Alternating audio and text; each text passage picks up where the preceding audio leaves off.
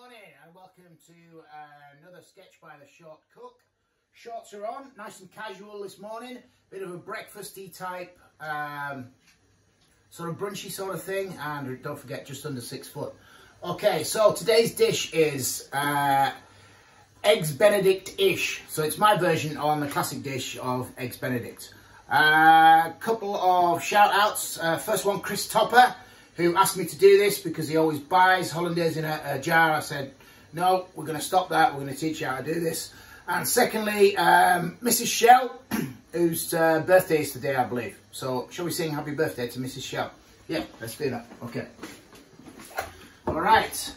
Happy birthday to you, happy birthday to you, happy birthday old cricket bat, happy birthday to you, happy birthday to you, happy birthday to you, happy birthday dear Michelle, happy birthday to you. Right, good, good. Okay, let's have a look at some ingredients. Here we go.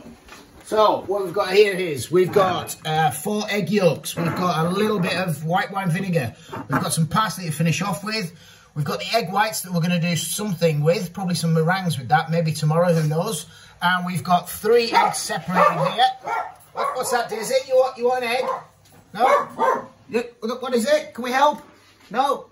Oh, good. Oh, oh all right.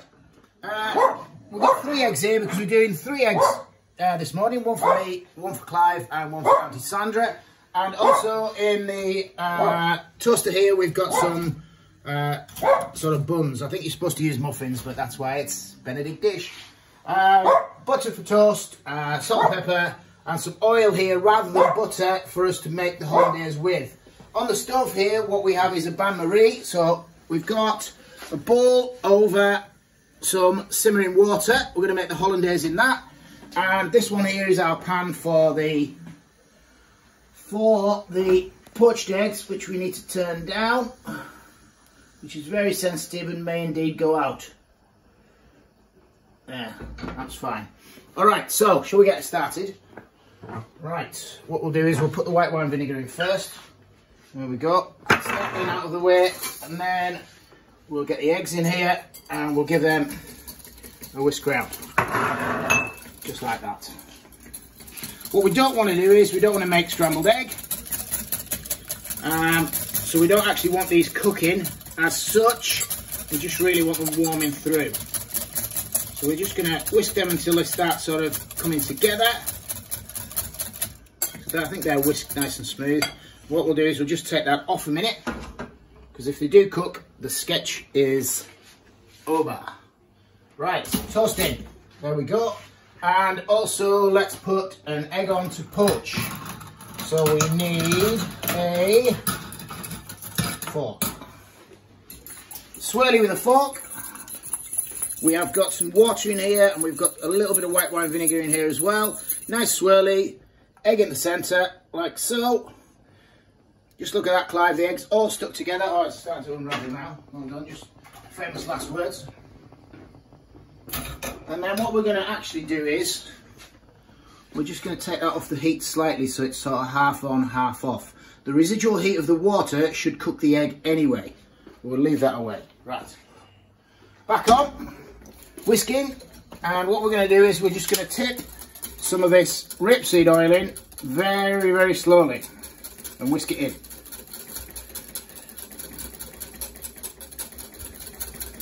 What we don't want is it splitting. I noticed there was a little bit of a split there, so we don't want that. I'll tell you what I forgot as well, Clive, because it's my uh, Hollandaise-ish, um, I'm going to put a little bit of Dijon mustard in here as well. Yeah. All right, can you see it starting to change colour? If you've seen Hollandaise before, you'll know that it's that's sort of it's sort of a yellowy colour, a little bit like the colour of the Dijon mustard actually. And what we're looking for here is we're looking for a nice sort of thickish glossy sauce. we're not quite there yet. Keeping an eye on the poached egg, we don't want to overdo that either. What we're looking for in the poached egg is, of course, a nice runny centre, runny yolk. That's not looking too bad, that, Clive. So look, Maybe a little bit thin out. Keep on whisking this oil in. Obviously this isn't uh, extremely good for you if you're uh, on a diet or a low fat diet at least. That is thickening so well now. That is coming really nice. It's not quite there yet. A bit more oil. Mm -hmm. I'm just going to take that off again, Clive, because it's getting there. It's not quite there. Just going to have a look at that egg. Let's have a look. Slotted spoon. Just going to flip the egg over. Yeah, I think the egg's. Look at that. The egg is just about there, so I'm going to take it off the heat. Spoon on spoon stand. Uh, Dijon. Hello, Dijon, where are you? Uh, little spot of Dijon in there. There we are. And we're nearly there now. Nearly there. How's that toast doing, Clive? It's done, yeah? Oh, smashing. Bit of over caramelisation there again. Cracking. Oh, look at that. Look at that in there. Look at what we're looking at is ribbons. Right, so what we've got there is ribbons. I'm actually quite happy with that. I'm not going to put any more oil in. Right, what I do need to do though is I need to season it. So we'll just take it off the heat. So, we'll turn that off. And we will have a little dish. Because obviously, we'll put a little bit of salt in. Do I want to put black pepper in? No, I think I do. It's going to that colour, isn't it?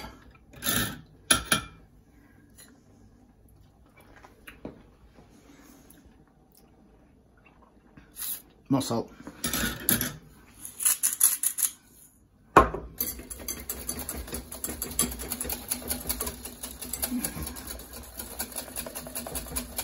I think that's got a little bit too thick, Clive, as well.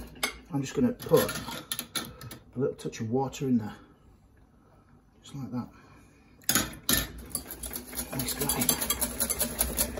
So if it does go a little bit thick or it splits, you can just put a little splash of water into it and that will bring it back. I still think it's a little bit thick. A little splash of water.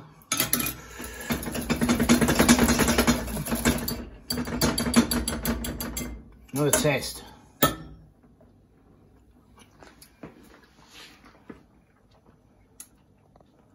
Yeah, that's it. Okay, so poached egg. We need to take the poached egg out and put it on some kitchen paper. Just like so.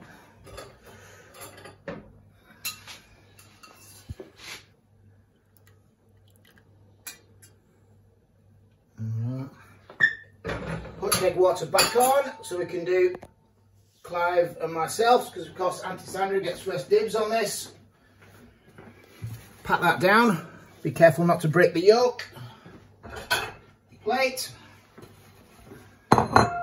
Toast. Toast out. Buttered toast. Bun, whatever. Toast in middle. Egg on toast. That's worked out quite well. Drizzle of hollandaise.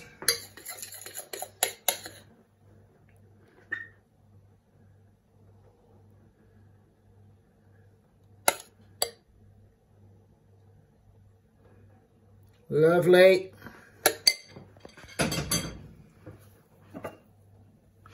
Splash of parsley. And I suppose that we've got to do the ultimate test as well and see if this egg is right. So, you ready? This could go so wrong, Clive. All right, here we go. Well, I've got to be honest with you, it doesn't get much better than that. We're quite happy with that. Good money shot, Clive. All right, so that's a shot out from the short cook. Please subscribe to the YouTube channel. Uh, stay safe, everybody. Enjoy.